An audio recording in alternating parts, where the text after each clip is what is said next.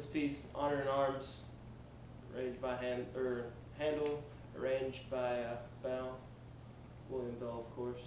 Uh, what is it here? This very, very famous bass aria is admirably suited for tuba. It should be played in a very fo- forceful style, but as a fine basso would sing it. Basso, basso, yeah.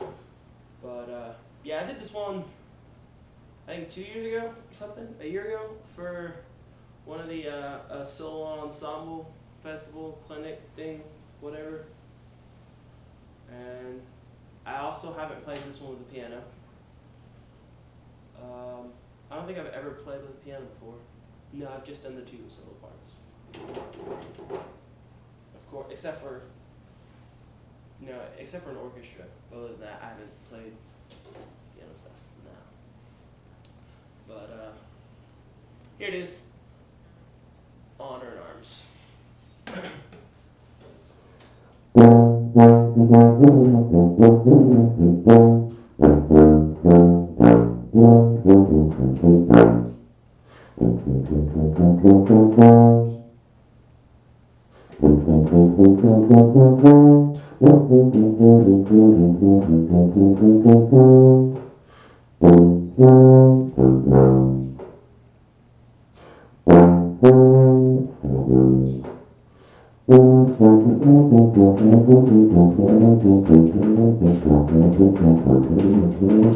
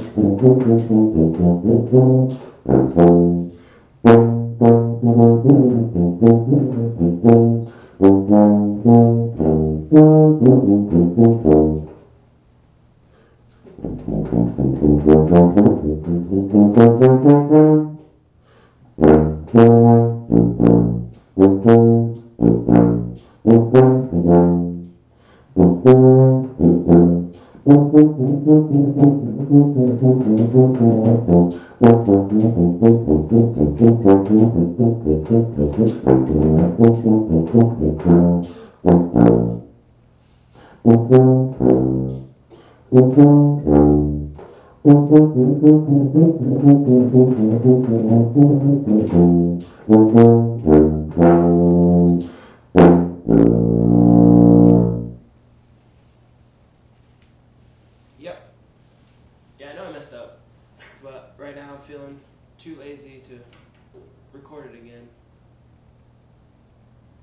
Maybe I'll do it later. I don't know.